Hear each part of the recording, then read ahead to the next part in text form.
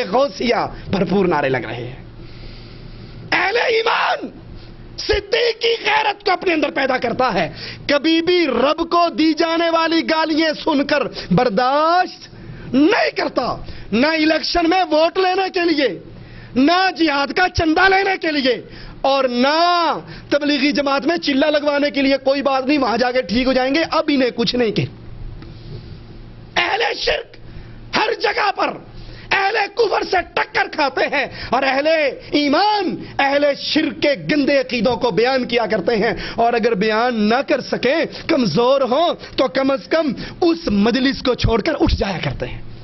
کفار سے محبت کا ایک اور ذریعہ مشرقین کے ساتھ سکونت اختیار کرنا۔ رسول اللہ صلی اللہ علیہ وسلم فرماتے ہیں، میں اس مسلمان سے بری ہوں۔ میں اس مسلمان سے بری ہوں۔ جو اہل کفر اور اہل شرک کے درمیان رہائش رکھتا ہے۔ کوئی رزق کے لیے، کوئی نوکری کے لیے۔ آپ نے پڑھے آج کل اردو نیوز میں اکثر۔ آپ پڑھیں گے غیرت کے نام پہ لندن میں قتل ہو رہے ہیں۔ ٹھیک ہے، کیوں؟ یہاں تو دال روٹی کمانے کے لیے چلے گئے سٹیٹس ہائی کرنے کے لیے۔ دال روٹی تو یہاں بھی مل رہی تھی۔ اللہ راضی کا، بھوکا تو کوئی نہیں مرتا۔ اسلامی ملک میں بھی دال روٹی ملتی۔ سٹیٹس کو ہائی کرنے کے لیے، کوٹھی دو منزلہ کرنے کے لیے۔ جب وہاں گئے تو نئی نئی شادی ہوئی تھی۔ پھر اولاد ہوتے ہوتے جوان ہو گئی۔ جب جوان ہو گئی، اب انہوں نے وہی کچھ کرنا ہے جو کچھ دیکھ رہے ہیں۔ اب جب وہ دیکھتے ہیں، پھر غیرت آ کر گن نکالتے ہیں اور شوٹ کر دیتے ہیں۔ اس شوٹ کرنے سے پہلے اس کفر کے معاشرے میں آنا ہی جائز نہیں۔ تیری سکونت یہاں پہ رہ کے دنیا کمانے کے لیے ایمان بیچنا جائز نہیں ہے۔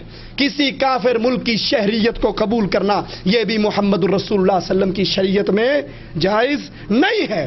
ہاں کوئی دائی بن کر جائے، مبلغ بن کر جائے، اس کے لیے تو اجازت ہے۔ اور دائی اور مبلغ کے علاوہ وہاں پر رہ کر تاکہ مال مستقبل اچھا ہو جائے۔ ساٹھ سال کے مستقبل کو اچھا کرنے والے ہو سکتا ہے۔ وہاں رہنے سے تیری آخرت کا سارا مستقبل برباد ہو جائے۔ اس مستقبل کی خیر منائیے۔ صحیح بخاری میں اسما بن طبی بکر سے روایت ہے۔ رسول اللہ صلی اللہ علیہ وسلم نے فرمایا، لا شیء اغیر من اللہ تعالی۔ اللہ سے زیادہ غیرت والا اور کوئی نہیں ہے۔ صحیح بخاری میں عبداللہ بن مسعود سے روایت ہے۔ رسول اللہ صلی اللہ علیہ وسلم نے فرمایا، لا احد اغیر من اللہ، من اجل ذلك حرم الفواحش ما ظهر منها وما بطن، ولا احد احب الیہ المدح من اللہ تعالی، من اجل ذلك مدح نفسه اللہ سے زیادہ غیرت والا کوئی نہیں، اس لیے اس نے تمام بے حیائی کے کاموں سے کو حرام قرار دیا۔ وہ ظاہری ہو یا پوشیدہ، اور اللہ سے زیادہ کسی کو اپنی تعریف پسند نہیں۔ اسی لیے اللہ عز و جل نے اپنی تعریف خود کی۔ ابو داؤد میں رسول اللہ اللہ علیہ وسلم کی اس حدیث کو سنیے، جسے سعید بن زید نے روایت کیا۔ آپ نے فرمایا اور یہ اہل ایمان کی غیرت کی بڑی کھلی ہوئی مثالیں ہیں۔ اور غیرت مند پر اللہ کے نبی صلی اللہ علیہ وسلم کے تعریف جملے ہیں۔ فرمایا، من قتل دون ماله فهو شہید من قتل دون دمه فهو شہید ومن قتل دون دینه فهو شہید ومن قتل دون اہله فهو شہید وفي روایہ من مات دون عرضه فهو شہید جو مال بچاتے ہوئے، عزت بچاتے ہوئے، بیوی بچاتے ہوئے، اہل و عیال بچاتے ہوئے، ایمان بچاتے ہوئے، پیسہ بچاتے ہوئے مارا جائے اللہ، اس عزت کو بچانے والے کو جو شہید ہو گیا ہے، مر گیا ہے، اس کو شہادت کا مقام عطا فرماتا ہے۔ یہ ہے غیرت۔ ہمارے ہاں غیرت کا نام ہی ختم ہو گیا۔ صحابہ کرام کی مثال کو سامنے رکھیے۔ حضرت علی ایک علاقے کی طرف خط لکھتے ہیں اور کہتے ہیں، ذرا غور کرنا اللہ کے لیے۔ اللہ کے لیے غور کرنا کہ آپ کی اور میری قبر بہت قریب ہے۔ پتہ نہیں اس مجلس سے اٹھنا مجھے اور آپ کو نصیب بھی ہوگا یا نہ ہوگا۔ پتہ نہیں گھر جانا نصیب بھی ہوگا یا نہ ہوگا۔ پتہ نہیں یہ رات ہماری زندگی کی کہیں آخری رات تو نہ ہو۔ علی فرماتے ہیں، مجھے پتہ لگا ہے، تمہاری عورتیں ان بازاروں کی طرف نکلتی ہیں۔ جہاں اجنبی مرد ہیں، ان کا ازدحام ہے، تمہاری غیرت کو کیا ہو گیا؟ جن میں غیرت نہیں، اس میں کوئی خیر نہیں۔ سوچ لو، اتوار بازار میں شاپنگ کے لیے بیگم کو بھیج دینے والوں سوچ لو، پانڈا مارکیٹ کے اندر بیگم کو اکیلے۔ جاؤ، کوئی بات نہیں، میں آفس جا رہا ہوں، آپ شاپنگ کر کے آ جائیے۔ اور وہ بھی اتنی بغیرت ہے، اگر خامد کوئی چیز خرید کے لے آئے۔ اجی، بس آپ کو تو لینا ہی نہیں آتا، مولویوں کو کیا پتا؟ یہ مجھے ہی مرنا پڑے گا۔ آپ چالیس ریال کی لائے ہو اور دیکھو، میں تیس ریال کی لایا ہوں۔ یہ چالیس ریال کی مرد لے کر آیا۔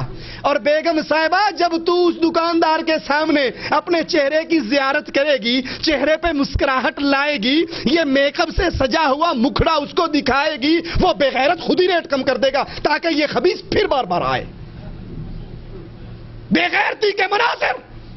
برخا کیا ہوا کپڑے لینے کے لیے جا رہی۔ خاص طور پہ انڈیا پاکستان کے اندر ہوتا۔ کپڑے والے دکاندار نے بھی بغیرت نے ایک چادر لٹکائی ہوئی۔ مردوں کا سٹول ادھر رکھا ہے، عورتوں کا سٹول ادھر رکھا ہے۔ جو ہی اندر آتی ہے، یہ نقاب نیچا کرتی ہے، وہ چادر کھینچ دیتا کہ بڑی غیرت مند ہے انہوں کوئی نہ ویکھے، میں کل ہی ویکھا تیری یہ ماں لگتی ہے؟ تیرا اس سے کیا رشتہ ہے؟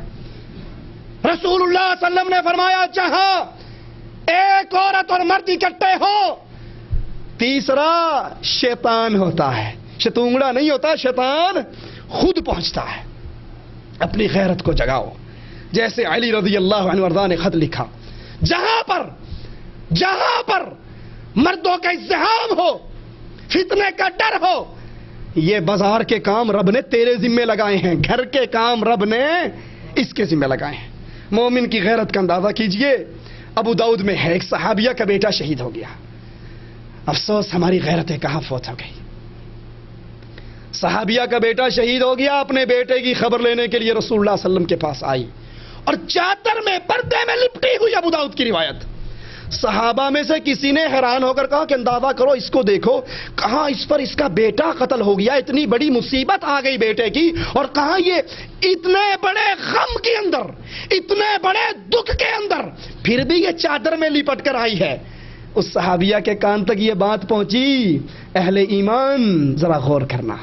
کاش ہماری عورتوں کے لیے آئیڈیل رسول اللہ کے صحابہ کی یہ بیویاں بن جائیں۔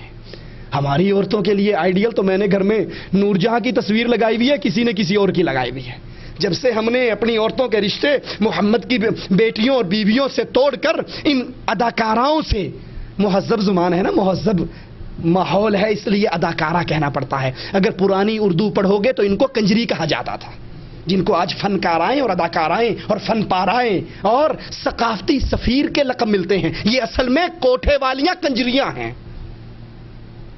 صحابی کی یہ بات جب اس صحابیہ کے کان سے ٹکرائی، غیرت سے بھرا ہوا جملہ کہا کہا، سنو، میرا بیٹا مرا ہے، میرا بیٹا قتل ہوا ہے، مجھ پہ بیٹے کی مصیبت آئی ہے، میری حیا اور غیرت تو نہیں مری۔